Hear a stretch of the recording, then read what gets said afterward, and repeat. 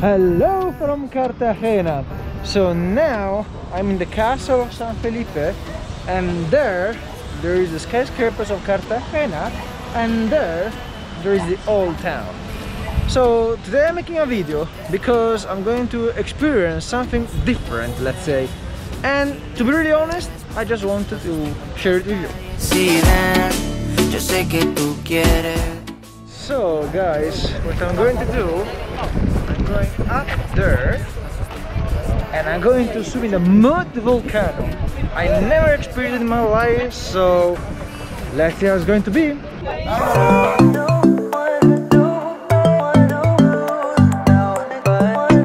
Oh my god, never done anything like that.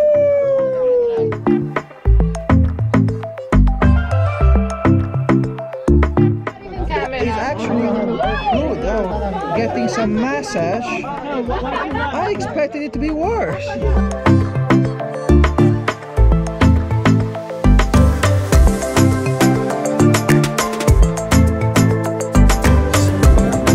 This is how I look like after swimming in a mud volcano and I need to wash.